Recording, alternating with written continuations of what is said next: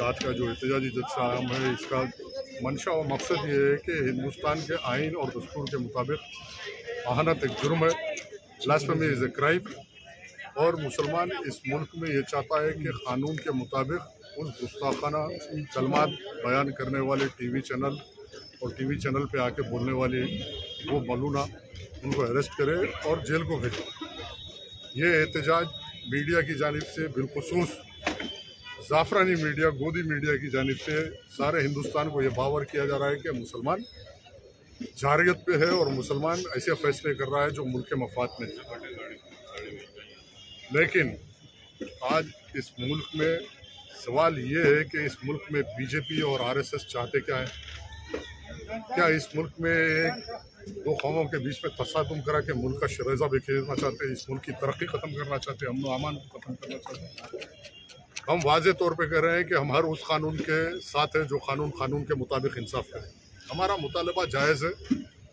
हम कानून के पाबंद हैं, कानून की बालादस्ती हम चाहते हैं, कानून, हर उस कानून के साथ है जो कानून कानून के मुताबिक इंसाफ करेगा कानून के नाम पे टेररिज्म चलेगा और आप एक गुस्ताख को बना देंगे, गुस्ताख को सिक्योरिटी देंगे। उस पर मुकदमे दर्ज नहीं होंगे, बल्कि उसको एक हीरो की तौर पे पेश किया जाएगा और ये बावर किया जाएगा। मुसलमान खामोश बैठेगा तो चौदह सौ की तारीख है। मुसलमान खामोश नहीं बैठता इस मसले में। हर कुर्बानी हमने दी। मुल्क की आज़ादी के लिए दिए, हिंदुस्तान की आज़ादी के बाद भी।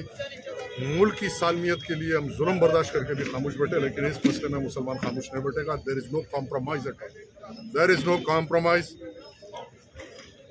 और हुकूमतें आती रहेगी, हुकूमतें जाती रहेगी। सत्तर साल में कई हुकूमत आए, कई प्राइम मिनिस्टर चीफ मिनिस्टर आए और चले गए।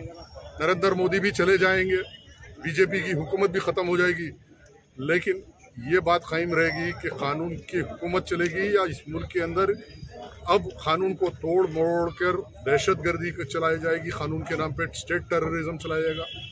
उस गुस्ताख रसूल को प्रोटेक्शन देना स्टेट टेररिज्म और उस पर एहतजाज करने वाले मजलूमों को मारना, उनके घर तोड़ना, ये स्टेट टेररिज्म। और इस स्टेट टेररिज्म के खिलाफ इंसाफ के लिए जिद्दोजहद करना ही इस मुल्क के आइन की बालादस्ती है। हम इंसाफ की लड़ाई लड़ रहे हैं, इंशाल्लाह हम लड़ेंगे। हिंदुस्तान का बीस करोड़ मुसलमान अहानत बर्दाश्त नहीं करेगा।